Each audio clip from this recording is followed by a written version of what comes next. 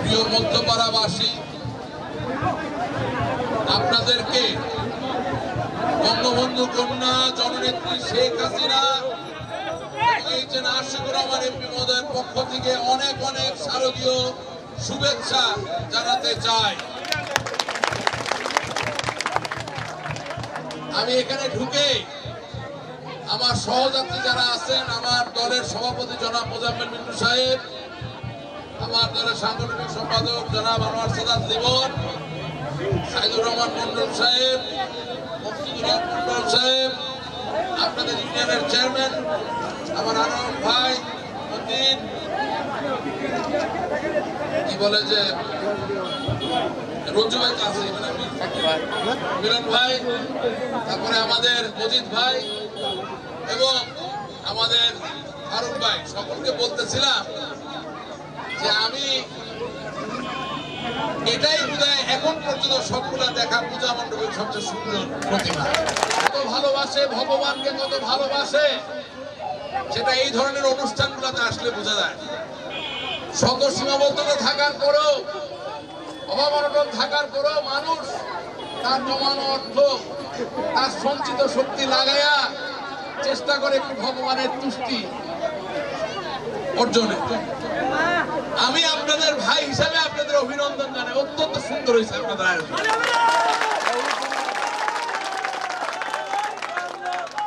আপনারা ইতিমধ্যেই বঙ্গবন্ধু কন্যা জননেত্রী শেখ হাসিনা এই যে আশুকুর রহমান এমপি মহোদয়ের পক্ষ থেকে পাঁচশো কেজি চাউল পেয়েছেন। আমি আপনাদের এখানে খালি হাতে আসতে চাই না।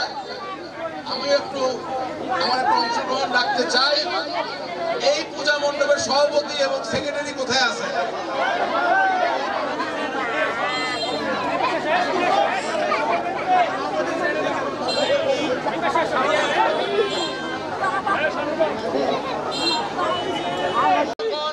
এক একটা মণ্ডপের সভাপতি সেক্রেটারিরা অপেক্ষাকৃত প্রয়াস করছে এখন এটা নতুন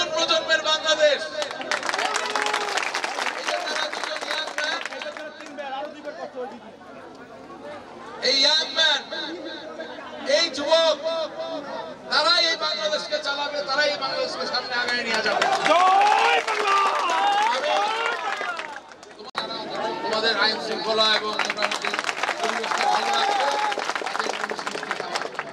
তো তুমি বাসাটায় খুশি হও নাই? তুমি হাসতেছো না মনে হচ্ছে তোমার। হাসো খুশির দিন। কি নাম তোমার? দীপক রায়। ঠিক আছে।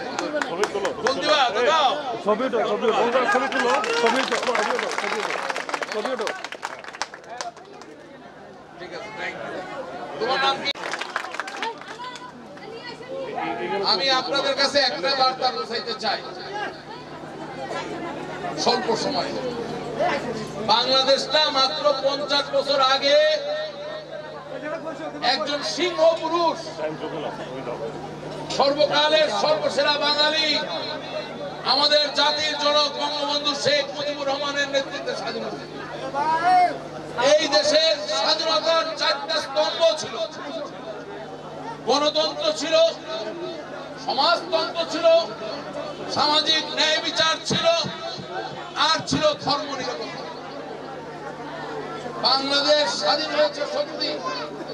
যখন বাংলাদেশের মানুষের দুঃখ দূর করার পর্যায়ে চলে যাওয়ার একটা সম্ভাবনা দেখা দিল, ঠিক তখন বাঙালি আর বাংলাদেশের যারা শত্রু, তারা বঙ্গবন্ধু শেখ মুজিবুর রহমানকে হত্যা করে হত্যা করার পরে যে আলোয় বাঙালির উদ্ভাসিত হওয়ার কথা, যেই শক্তিতে বাঙালির শক্তিমান হওয়ার কথা, যেই সমৃদ্ধি, যেই সুন্দর স্বপ্নের বাংলাদেশ আমাদের হওয়ার কথা ছিল, তার থেকে আমরা অনেক দূরে চলে গেছি।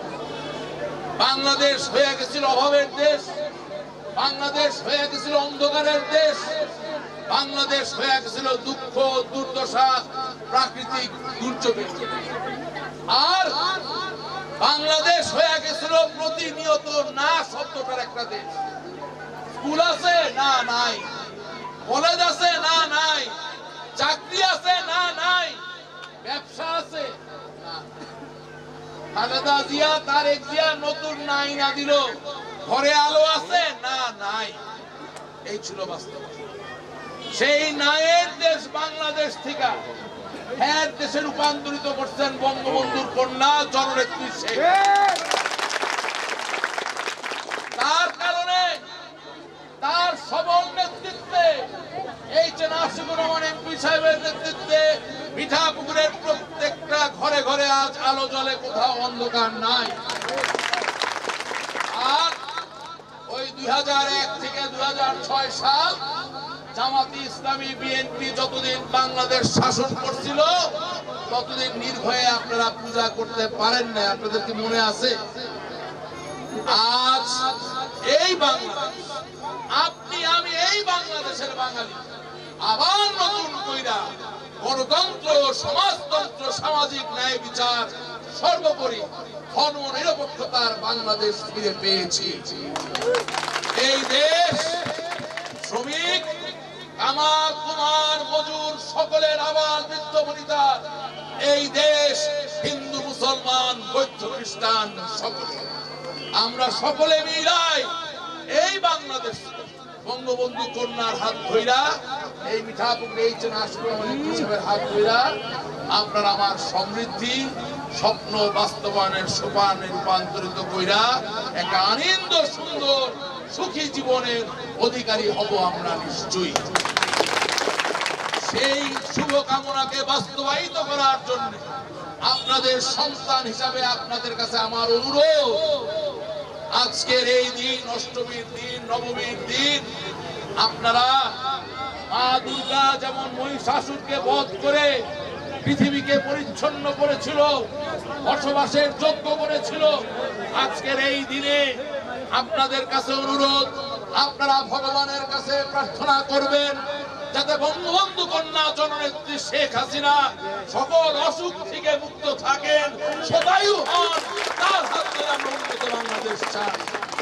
আপনাদের কাছে আপনাদের সন্তান, আপনাদের ভাই হিসেবে অনুরোধ করতে চাই। এই যে নাসিকুর রহমান এমপি সাহেবের হাত ধরা যেই প্রতীকটি অভিযাত্রা শুরু হয়েছে, তার হাত ধরেই যাতে সত্যিকার সাফল্যের দিকে আমরা সকলে এগিয়ে যেতে পারি। আপনারা সকলে ভালো থাকবেন। আপনাদের পূজা, আপনাদের ধর্মীয় অনুশাসন, আপনাদের ধর্মীয় চর্চা নির্ভয়ে করবেন। যদি প্রয়োজন হয় আমাদের ডাকবেন। সুখে দুঃখে সংকটে বিপদে আপনাদের সাথে আমরা ছিলাম, আছি, থাকব নিশ্চয়ই। ভালো থাকবেন। জয়